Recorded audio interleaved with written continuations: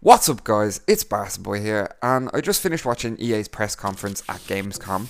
And as I was waiting for a bit of FIFA 12 news, got a big surprise with the announcement of a FIFA Street 4.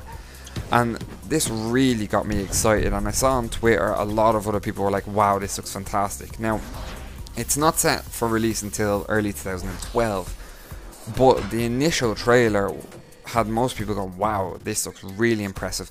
Now, if you don't know the previous FIFA Street series, it was very cartoony, unrealistic, and you know, it's it wasn't that great. But this one looks fantastic because they've got the guys that have produced FIFA 12 to get on board with this game and they've taken all the fantastic features from the FIFA series and brought it into this game into a smaller pitch, smaller teams where it's all about just doing skills. And it's the kind of game that me and other skillers are going to love particularly because it's in the second half of pretty much the FIFA season. If FIFA 12 is a flop, we do have this game to look forward to.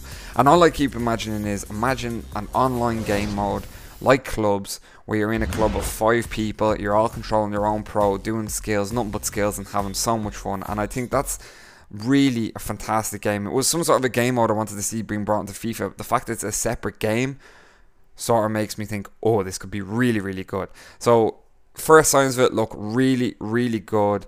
I'm excited for it, and I think everyone else is. So that's been your FIFA 12, not FIFA 12 related news. Bye bye.